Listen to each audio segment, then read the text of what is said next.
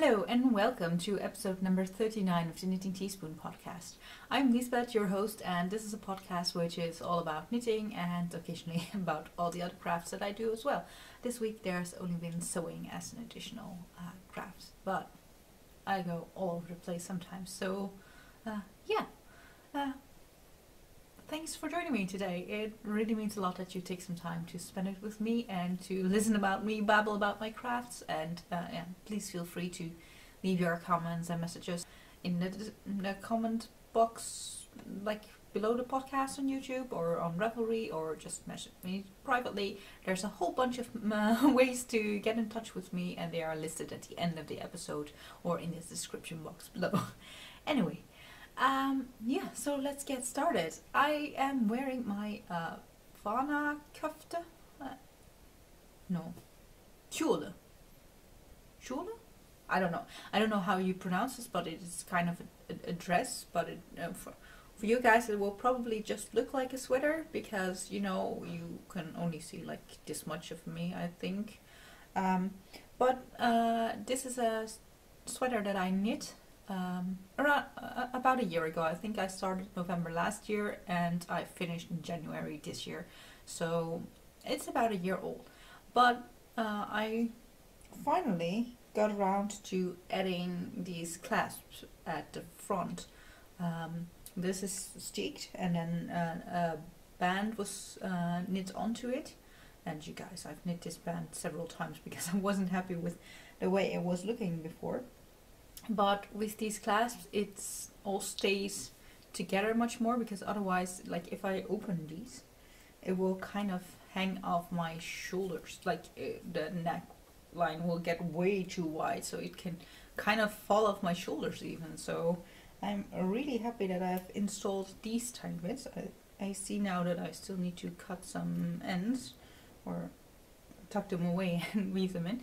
I used some embroidery floss in, uh, well, a color that's quite closely matched uh, um, color, of, yeah, the red color of the uh, sweater, uh, or dress actually, because it, it's really knee length uh, for me.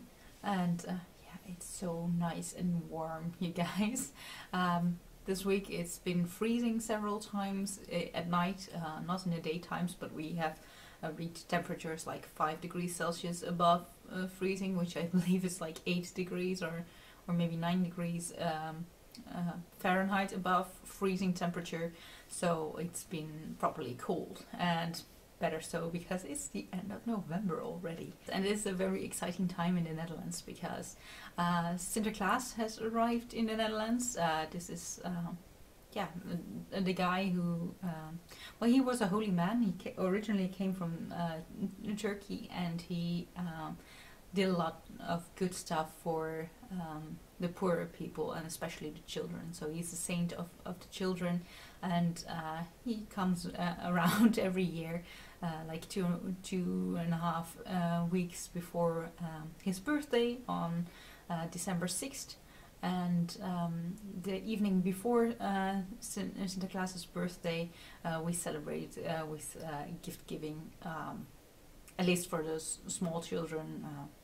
Uh, when we grow up, we um, yeah we have to do the gift giving ourselves, of course. But uh, Sinterklaas comes around for the little ones, and uh, yeah, it's a very nice and exciting time, and also means that I'm quite busy with some gift giving preparations, but uh, yeah, that's just part of that time of the year. Uh, so for for me, the deadline for gift giving is like um, the weekend before the fifth of December because that's when we get together with my family. And that means there's still a lot of work to do.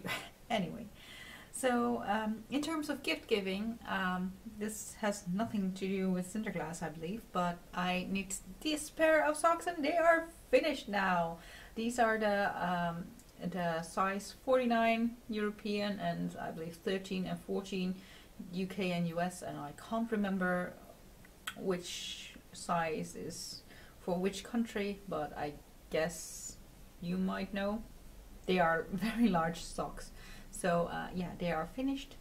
Uh, I, I really like how stretchy they are. I mean, come on, this is just this is gonna fit almost anyone. I mean, you can have like tiny legs that, that would just fit in this and they would probably stay up quite nicely or you can have huge legs like this and then it will still fit. So it's, I, I like having ribbing on socks, especially for people uh, that are not myself so that I can, uh, how do you call that? So that I, I, I have some more liberty in the size because this is likely to fit more people good than a sock that has just plain stockinette on the legs, I believe. So, uh, yeah.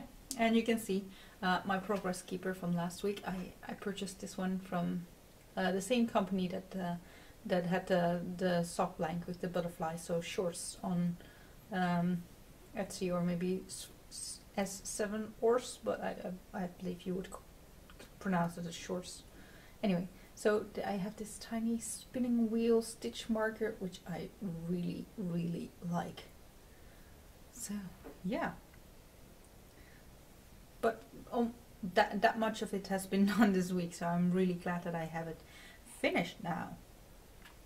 There is another work in progress uh, for, for this week, and uh, it, I don't think I have touched my uh, cardigan at all. So I'm knitting on this pink cardigan uh, with, with a Japanese knitting stitch Bible um, technique on it. But I've been talking to you guys about my coat that I'm trying to sew. And you guys, I think I managed to salvage it because like this is the pocket and I I, I realized uh, while editing that the lighting is really not that great, uh, or at least not with this dark a fabric, so it's hard to see. But uh, this pocket was already quite neat and I was happy with uh, how it looked. And I managed to disconnect, oh, and collect a lot of hair on my coat to be apparently. Hmm. Anyway, um, so I managed to disconnect the other coat pocket entirely and uh, I had enough leftover fabric to cut out the inner pockets again. So these parts are freshly cut out again. And I've reinstalled it. And it's not perfectly straight. Definitely not. But I think I salvaged it.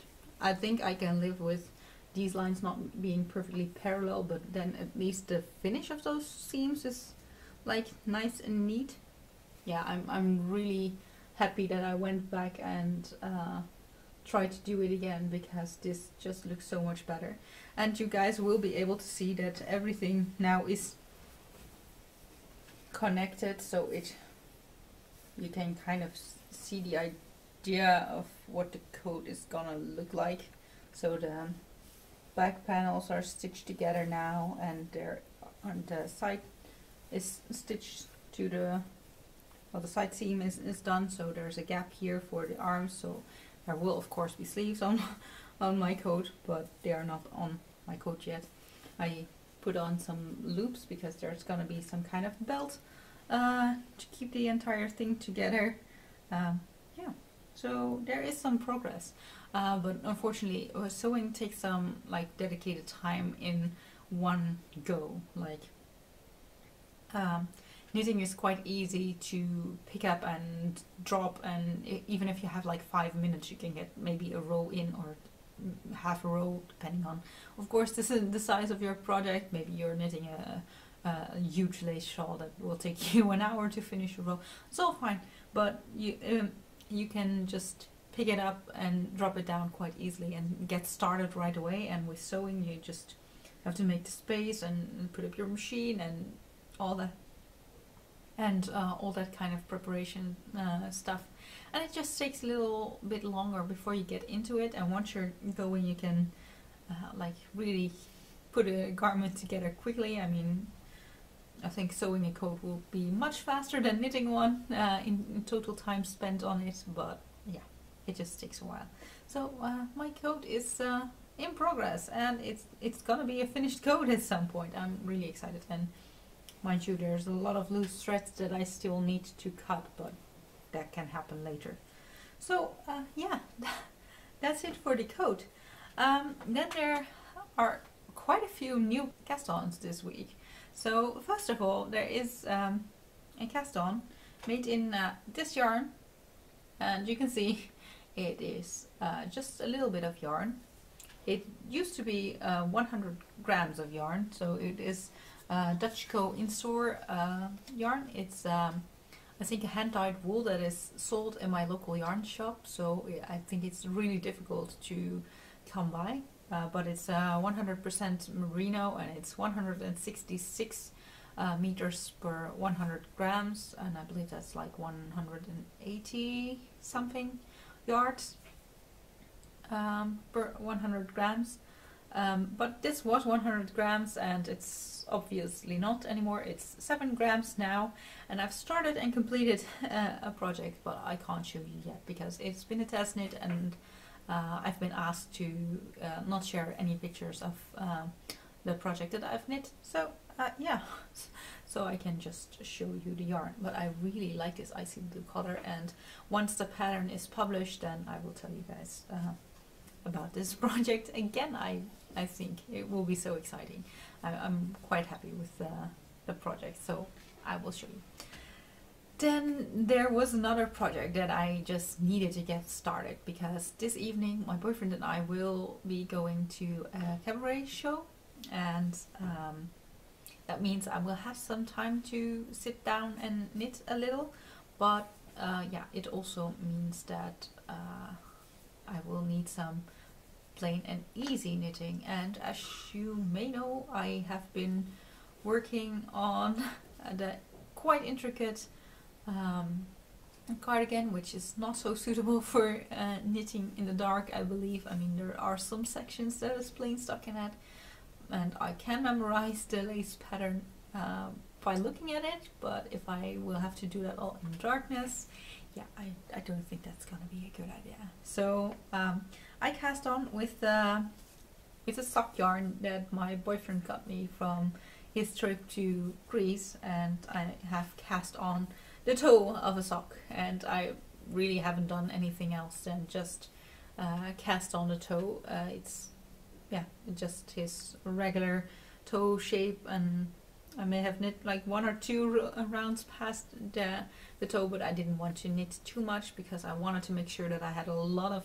just plain knitting in around uh, before I had to be bothered with the gusset and all that stuff. So this this project will go with me uh, this evening uh, for the cabaret and um, yeah.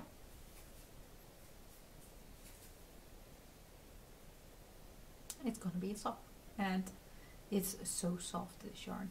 I think it's because there's this uh, camel in, in there, so this is Katia socks. Uh, with, uh, 55% wool, 25% nylon, and 20% camel.